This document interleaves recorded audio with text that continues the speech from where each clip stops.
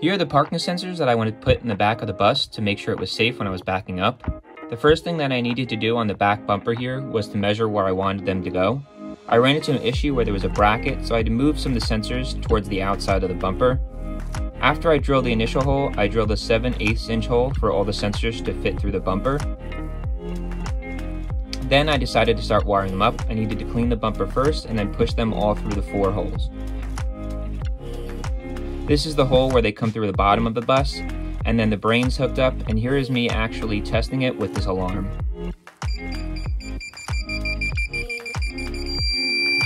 So as you can see, it works, and this is what the back bumper looks like with the sensors.